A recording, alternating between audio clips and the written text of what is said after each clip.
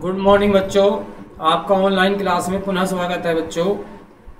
आज हम आपको क्लास ट्वेल्थ के व्यवसाय अध्ययन बीएसटी बच्चों, जो नया सब्जेक्ट है, जो निर्धारित किया गया है, उसके बारे में हम आपको, जो उसका सिलेबस है, उसके बारे में हम आपको बच्चों बताने जा रहे हैं कि इस के अंतर्गत हम क्या क्या अध्ययन करते हैं क्या क्या अध्ययन करेंगे।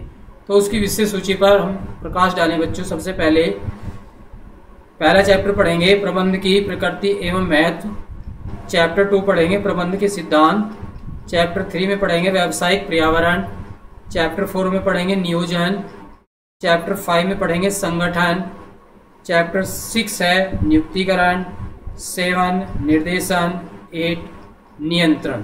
तो ये चैप्टर आठ बच्चों भाग वन के अंतर्गत निर्धारित किए गए हैं। इसी क्रम में बच्चों, भाग दो में भी चैप्टर नंबर नाइन व्यावसायिक वित्त। चैप्टर नंबर टेन वित्तीय बाज़ार। चैप्टर नंबर इलेवन विपणन। और अंतिम है चैप्टर उपभोक्ता संरक्षण। तो बच्चों, इसके बारे में हम अध्ययन करेंगे। अब दोबारा से हम उसके बारे में आपको पहले, सबसे पहले बताना चाहेंगे कि व्यावसायिक अध्ययन विषय जो है, वो है क्या? उसके में हम क्या अध्ययन करेंगे?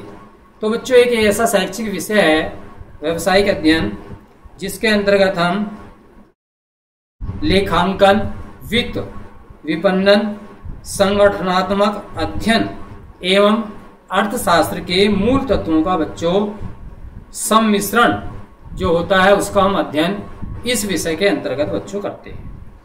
अब हम इसमें जो हमारे चैप्टर हैं, बच्चों कुल मिलाकर, हमारे चैप्टर जो इसके अंतर्गत आए हैं, बारह चैप्टर हैं।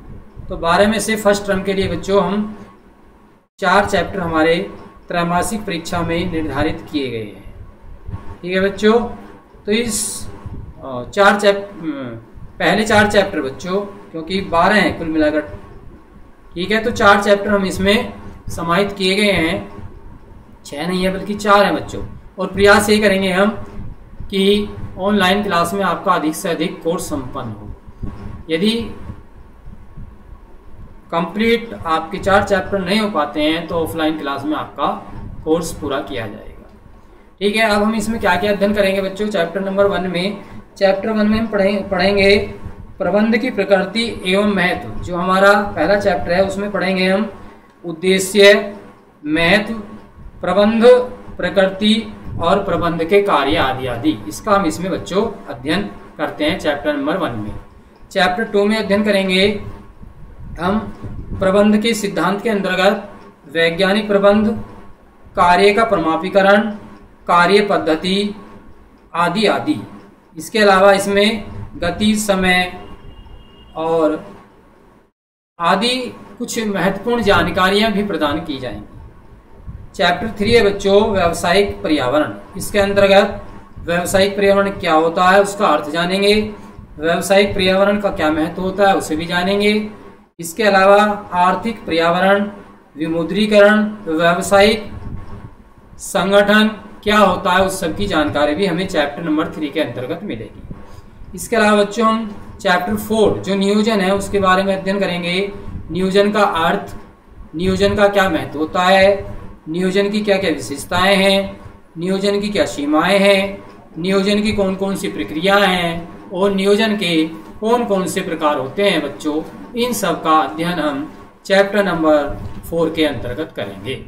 तो मैं बच्चों आपसे आशा करता हूँ कि आप जल्द से जल्द अपना कोर्स ले लें, किताबें ले लें, साथ ही साथ ए फोर साइज़ का एक रजिस्टर भी ले लें, जिससे आपको जो कार्य भेजा जाएगा, आप उसको समय पर पूर्ण करते रहें। ऐसी मैं आपसे आशा करते हुए धन्यवाद।